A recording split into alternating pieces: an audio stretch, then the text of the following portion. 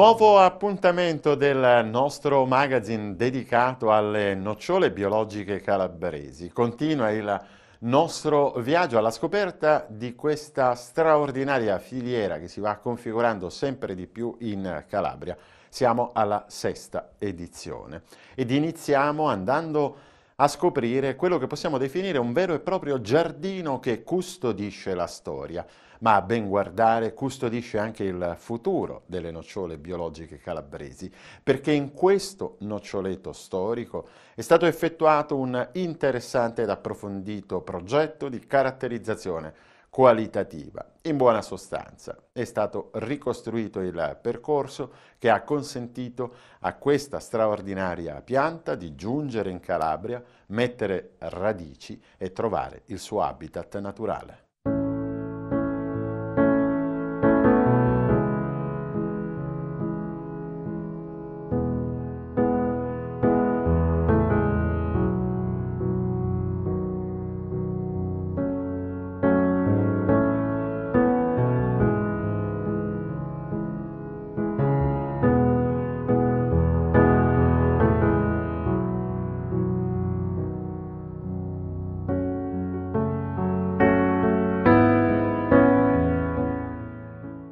Era un progetto finanziato dal Ministero dell'Agricoltura, si voleva capire che se c'era veramente una caratterizzazione qualitativa che poteva distinguere la nocciola calabresa dalle altre. Questi cartellini eh, sono stati apposti su 100 piante individuate e numerate. Su queste 100 piante eh, sono stati fatti dei rilievi fenologici, poi sono stati fatti dei prelievi di parti vegetative, quindi foglie, fiori e alla fine per ogni pianta sono state raccolte un certo numero di campioni di nocciole, almeno 100 nocciole in, eh, nel corso dei tre anni. Il risultato è che la nocciola tonda calabrese ha delle caratteristiche sue particolari, caratteristiche sue particolari che sono differenziate nel corso degli anni, quindi eh, si tratta sostanzialmente di un, eco, un ecotipo che ha origine da, sostanzialmente dal nocchione origine dal nocchione, però in quest'area nel corso dei 200 anni si è differenziata eh, con delle sue caratteristiche particolari e queste caratteristiche particolari l'hanno fatta adattare alle condizioni climatiche della zona e quindi eh, in quest'area questa nocciola mh, sostanzialmente rappresenta un presidio di biodiversità.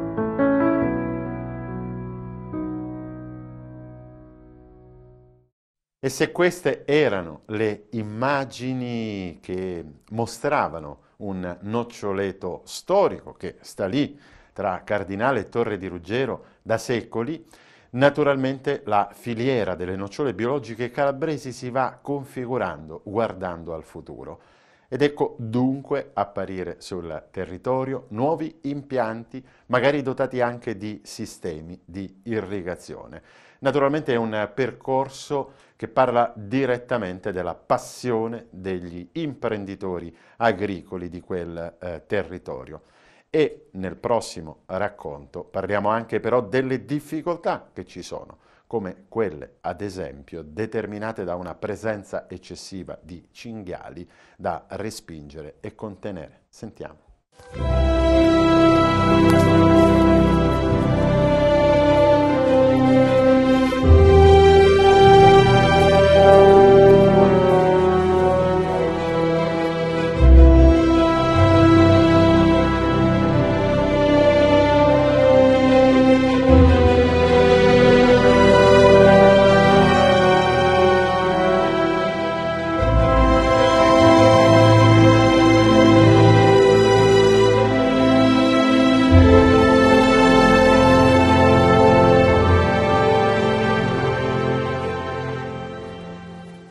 Controllo è mattutino, riguarda un noccioleto interamente recintato e preso d'assalto dai cinghiali. Il contesto ambientale e la vicinanza all'acqua lo rendono infatti appetibile per gli ungulati. Preservarlo è uno sforzo economico non indifferente, soprattutto considerando che si tratta di un giovane impianto autosufficiente sotto il profilo irriguo e pienamente orientato alla sostenibilità. Allora, l'acqua viene prelevata dal fiume Bruca ho un, mm, naturalmente ho un'autorizzazione per prelevare l'acqua e tramite una pompa ad alta pressione arriva alle cisterne. Oltre alle cisterne c'è anche un fertilizzatore che serve per la concimazione. La distribuzione dell'acqua tramite le cisterne viene fatta in settori non in unica soluzione, cioè, eh, la proprietà è divisa in settori, in sei settori. Questo impianto è proprio fatto e concepito proprio per fare un risparmio notevole di acqua, perché eh, con l'impiantagione, cioè con l'irrigazione a goccia, questo ti consente eh, di selezionare molto, in modo selettivo la caduta dell'acqua intorno alla pianta e quindi un risparmio enorme eh, di acqua. Le, le, mie cisterne hanno una capienza di 20.000 litri d'acqua, che sono sufficienti per irrigare, irrigare due volte nell'arco dei 15-20 giorni.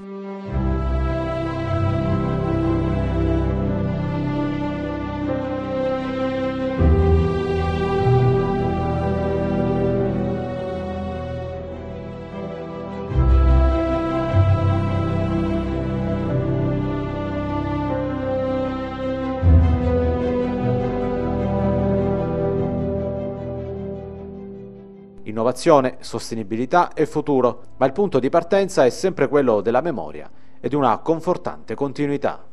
Mio padre è stato il primo presidente della eh, cooperativa Ancinal Bruca.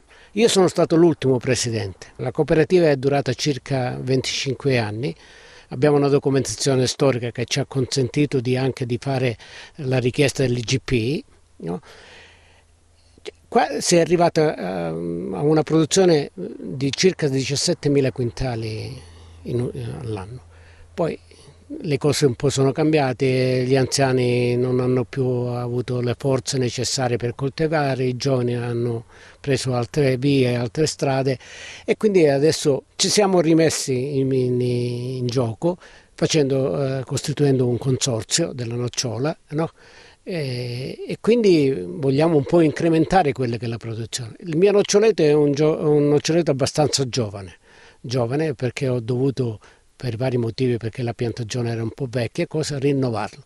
E di questo ogni anno che passa la produzione aumenta, io come vede eh, curo abbastanza bene eh, gli impianti e le cose, ci metto molta passione perché io ero un pubblico dipendente, però con la passione e l'amore per la terra.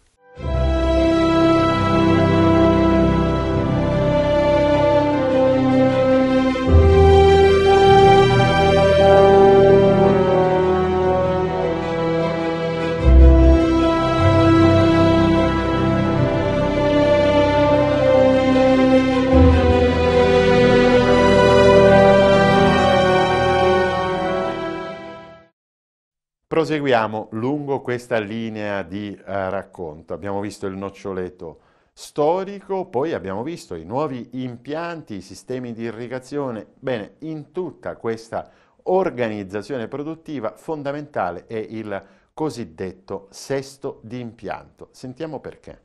I noccioleti hanno caratteristiche specifiche, soprattutto quelli che si sviluppano in territori particolari, come quelli tra Cardinale e Torre di Ruggero. Il tema è quello del recupero dei noccioleti storici, ma anche la messa a dimora di nuovi impianti. Di per sé non è possibile adottare una distanza di impianto standardizzata ed un errore nella scelta del sesto d'impianto e nella forma di allevamento può condizionare sensibilmente l'intero ciclo vegetativo e produttivo della pianta. La scelta del sesto d'impianto del noccioleto è legata a molti fattori, la fertilità del suolo, la forma di allevamento scelta, la necessità e la possibilità di effettuare irrigazioni la meccanizzazione della raccolta. Alcune scelte invece sono legate al tempo ed al luogo. Grosso modo questo qua è un impianto che ha un sesto regolare, però la differenza è per esempio nel mio caso io, questo è un, un impianto cespugliato. Ehm, per scelta mia perché comunque era un impianto abbastanza vecchio, devo precisare che le prime nocciole qua avranno circa 70 anni di vita siccome la, la, pianta della nocciola riesce alla massima produzione dei 15 ai 25 anni di età e con opportune potature puoi arrivare ai 40-45. Io in questo caso, per evitare di estirpare le radici, ho, mm, ho, fatto il sistema a cespuglio lasciando i polloni radicali, quindi togliendo le piante madri e lasciando quelle giovani.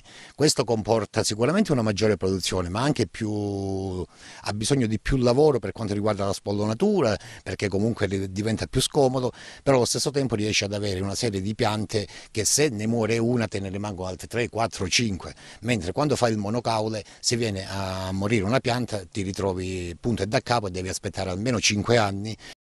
Prossimo servizio, prossime considerazioni riferite ad un argomento particolarmente importante. I noccioleti sono evidentemente il luogo in cui prende vita e forma la produzione ma non c'è dubbio che i noccioleti sono uno straordinario presidio del territorio. Peraltro sono anche un elemento eh, straordinariamente qualificante del eh, paesaggio. Ma proprio tra Cardinale e Torre di Ruggero il ruolo dei noccioleti, quale presidio del territorio, manutenzione del paesaggio, assume importanza soprattutto se riferiamo queste circostanze ad un elemento che ha caratterizzato drammaticamente la nostra regione nel corso della passata stagione estiva.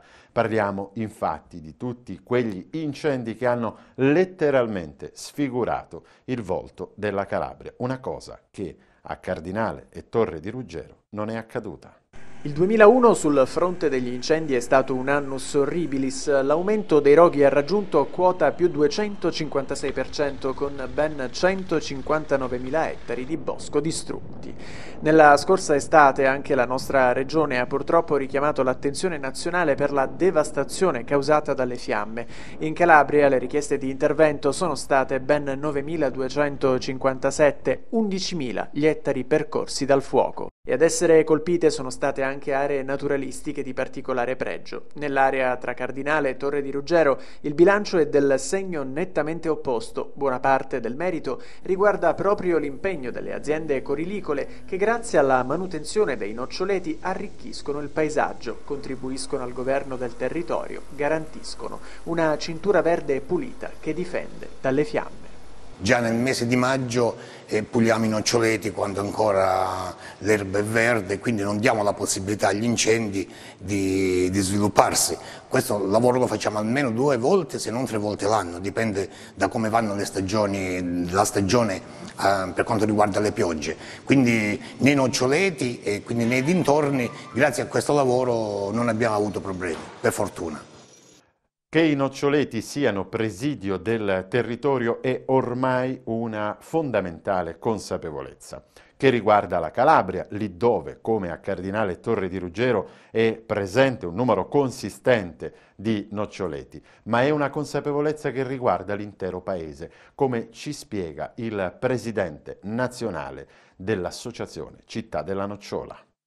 Il noccioleto storicamente mantiene il territorio come presidio idrogeologico, d'altronde alcune regioni hanno fatto anche una scelta in questa direzione, non ultimo la vicina regione eh, Sicilia. È chiaro che la micromanutenzione eh, di un noccioleto salvaguardia eh, il territorio, per questo motivo c'è bisogno di maggiore attenzione da parte dei soggetti pubblici perché un noccioleto non è soltanto produzione di nocciole, non è soltanto paesaggio, ma così come dicevo è anche presidio idrogeologico. In questi mesi noi stiamo lavorando nel tavolo corilicolo nazionale al nuovo piano corilicolo nazionale, proprio perché è necessaria e indispensabile una politica, una regia, una governance condivisa sulla produzione di nocciole in Italia, quindi in Calabria così come in tutte le altre regioni agricole.